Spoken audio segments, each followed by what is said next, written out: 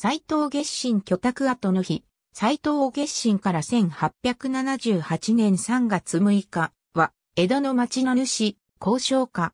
幼名は正狩三郎、通称、一左衛門、縄幸成、号は月神、別号に、テキス、小刀剣。江戸名所図絵、竹絵年表など、江戸の町についての基本資料を著述したことで知られる。神田の町名主の家に生まれた。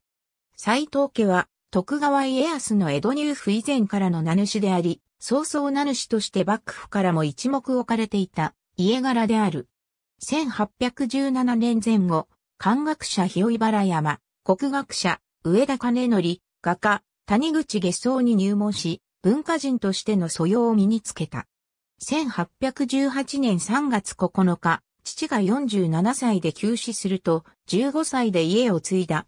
以後、町名主を続けながら、精力的に著作を続けた。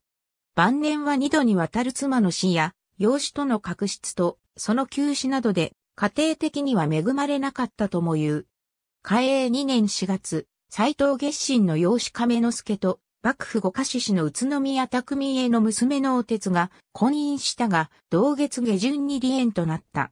同年の5月20日、月神娘のお春が15歳で病死した。7月初頭に亀之助が失踪し、月神は人を使って捜索し、神田明神に祈る日々を送ったが、8月に亀之助が高野山にいることが判明し、人に伴われて9月に帰宅した。雪を、雪高、雪なり三代の墓所は、上野の方禅寺にある。神田司町二丁目には、月神の記念碑がある。